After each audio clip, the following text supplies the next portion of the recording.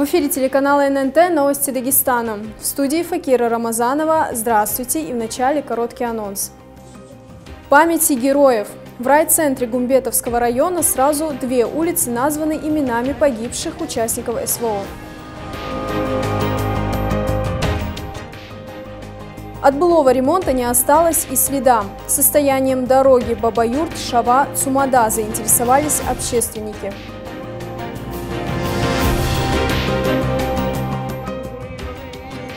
Столетию со дня рождения Расула Гамзатова посвящается.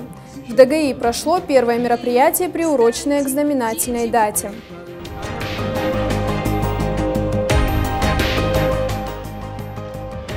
Последние дни тренировок. Сборная Дагестана по вольной борьбе готовится к Кубку Ивана Ярыгина.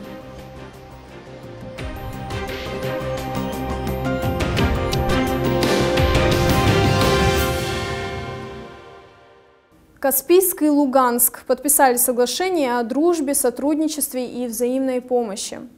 Документ предусматривает более 20 пунктов взаимодействия в различных сферах, от гуманитарной помощи до торговли, культуры и молодежной политики. Делегации обменялись сувенирами и отметили большую перспективу в дальнейшем для обеих сторон. Разработаем план по реализации этого соглашения, будем динамично в рамках этого соглашения взаимодействовать и сотрудничать. Еще раз благодарю. Все. Уважаемые коллеги, предлагаю читать процедуру подписания соглашения. Герои не умирают, герои живут вечно. В селе Михельта Гумбетовского района двум улицам присвоены имена уроженцев села, которые погибли в зоне специальной военной операции. Речь идет о кавалерах орденов мужества, сотрудниках СОБР Ястреб Каспий, майора полиции Шамиля Насрулаева и старшего лейтенанта полиции Шамиля Гаджимурадова. Как говорят в народе, человек жив памятью. А мы помним, мы помним наших ребят. Помнит их Росгвардия, помнит весь Дагестан. Их мужество и их героизм, которые они, которые они, отдали, э, э, они отдали свою жизнь на благо процветания нашей великой Родины Российской Федерации, на благо процветания Дагестана, на благо наших детей и потомков. Если мы помним, значит они с нами.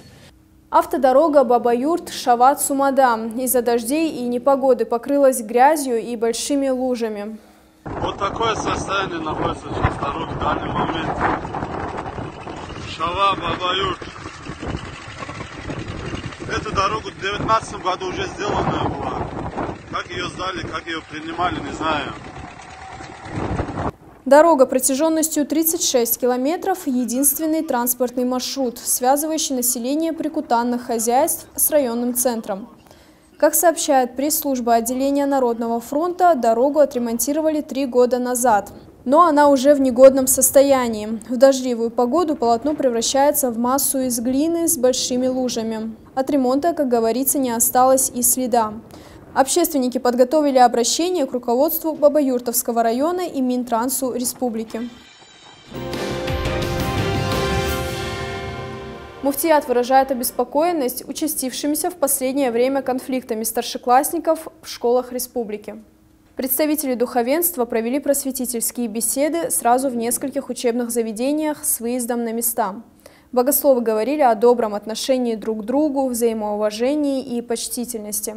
Были несколько случаев, когда в школах были, скажем, там какие-то инциденты случились. Вы же слышали это, видели в новостях? Из-за чего это бывает? Из-за того, что просто нет уважительного отношения друг к другу.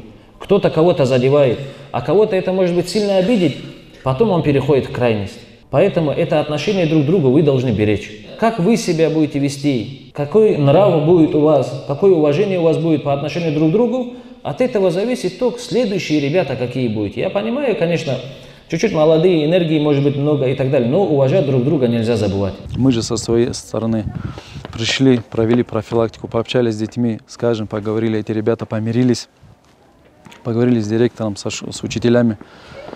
И, соответственно, детям а, с точки зрения религии рассказали, насколько важно соблюдать этику друг другу, любовь друг другу, уважение. И каждый из этих детей, соответственно, сделал твердое, правильное, чистое намерение – больше не возвращаться к таким конфликтным ситуациям, уважать друг друга, любить друг друга. Напомним, что на этой неделе произошло два инцидента с участием школьников. В селе Муги Акушинского района ученица 9 класса напала с ножом на свою одноклассницу. А в райцентре Курахского района по пути из школы домой мальчик 12 лет, оскорбленный неудачной шуткой сверстника, ударил того перочинным ножом. Первое в юбилейном году мероприятие, посвященное столетию со дня рождения Расула Гамзатова, прошло в Махачкале. Организатором акции выступило руководство Дагестанского гуманитарного института. Со сцены, установленной во дворе вуза, зачитывались лучшие стихи великого поэта на разных языках, а также звучали нашиды в исполнении студентов.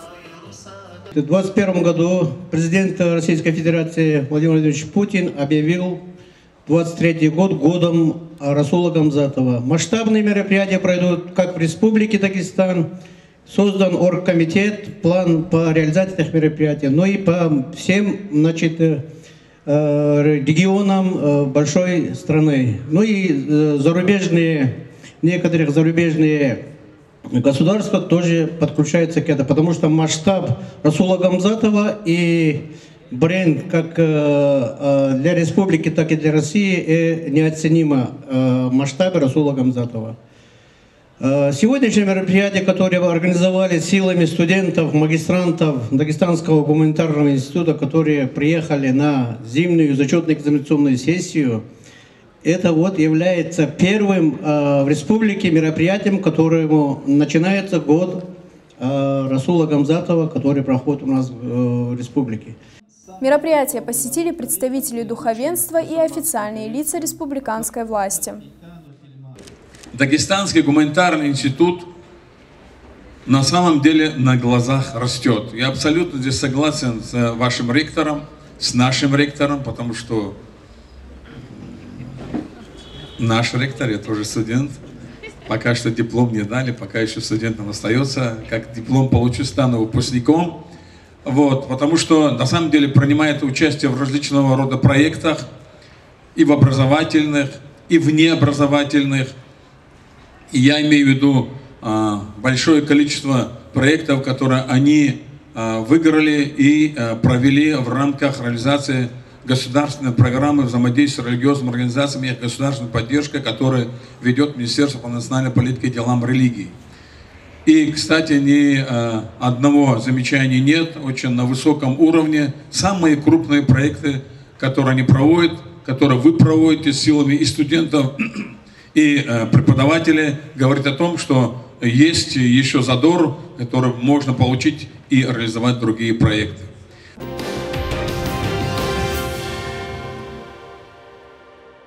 И к новостям спорта. Меньше недели остается до начала Кубка Ивана Ярыгина по вольной борьбе.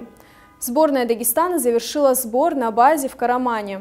В оставшиеся до старта дни спортсмены тренируются в своих залах.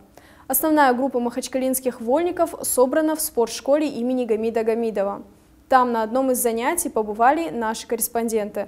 Слово Курбану Рагимову. Кубок Ивана Ярыгина – первый старт борцов в этом году. До начала считанные дни, нагрузки уменьшаются. Сезон 2022 пока самый лучший в небольшой карьере Ибрагима Ибрагимова. В Красноярске 21-летний вольник намерен подтвердить свое лидерство в категории до 65 килограммов. Оспаривать золото Ибрагимову придется сразу с несколькими одноклубниками по Гамидовской спортшколе.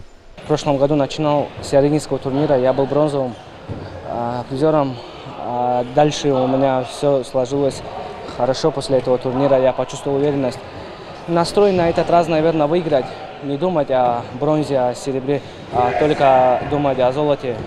Настрой такой. Мы конкурируем, друг с другом набираем с каждым разом, в зале боремся. Ну, если попадемся, будем бороться. Ну, мы на ковре боремся, рубимся, так скажем, а после пожимаем руку и дружим. Даже не просто дружим, а как братья вместе. Всего сборную Дагестана представят 50 вольников, получивших вызов по итогам прошлого сезона. Настрой у всех боевой, и хотя Ярыгинский уже перестал носить статус рейтингового, под вопросом поездка на чемпионат Европы и мира. Победа в Красноярске все равно весьма престижна, там формируется состав национальной сборной.